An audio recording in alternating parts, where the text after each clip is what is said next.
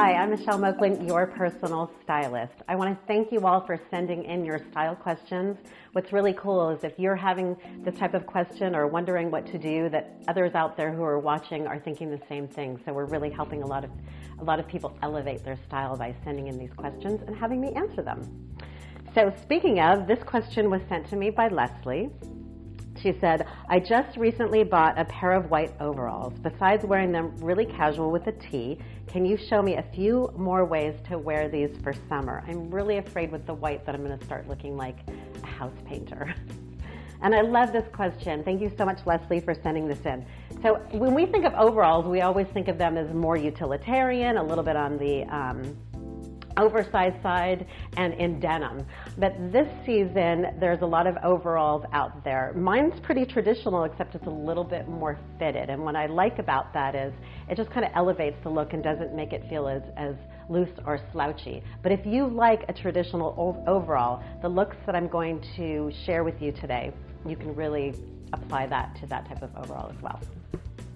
So this first look, I'm falling down, this first look, I paired this overall with an off-the-shoulder blouse. And what I love about this, if your shoulder strap doesn't fall down, is that you can still wear a bra underneath it and have that hidden underneath the straps of the bib. But this kind of gives a nice sexy look to what's traditionally more masculine and overall and kind of adds a little feminine touch to it. So I love it. And I paired it with an Elizabeth Wilmore leather and pearl necklace and I've thrown on some suede um, espadrilles. So kind of a fun weekend, could be a date night look um, because of the sexiness of the off shoulder. It's something just really fun to do that's different with an overall.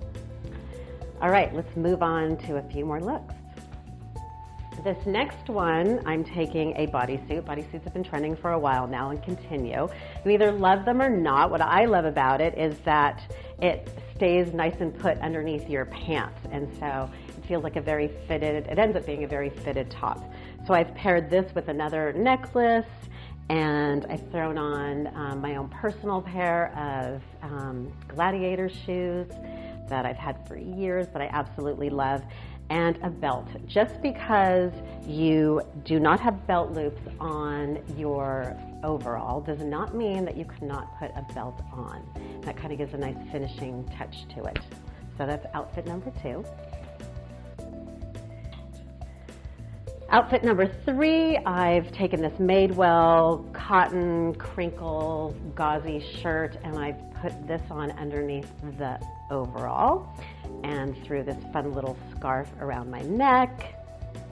I've also paired it with orange accessories in the form of a belt as well as shoes that um, pick up the orange and the red in the blouse.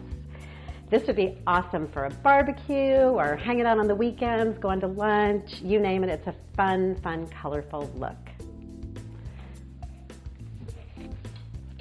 Okay, outfit number three. This is for you very feminine girls out there. This is more of a boho look.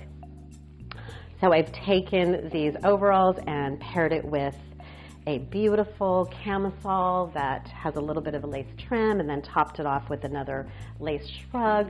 What I love about this is we're taking a very masculine look and we're pairing it with two pieces that are super, super feminine and pretty and I've added a little necklace to go with it and again, the same um, orange shoes to just have pops of color with the neutrals. I love this so much. And then the last outfit, really elevating this overall look by pairing it with a Vince silk blouse and some silver jewelry, including my silver sequiny glittery pumps. So this is something that's really elevating your overalls to an evening look that you can go out to dinner with and just have a blast. I love all the layering of the necklaces and the bling. And do not worry, I want you to, you know, not be concerned about the whites not matching. It's actually more interesting. It gives a little bit more contrast in your outfit and um, just gives a little bit more dimension. So if I've got the off-white and the white and it looks beautiful together. So that's the five outfits that I'm showing with the overalls. Thank you again, Leslie, for broaching that question and emailing it to me.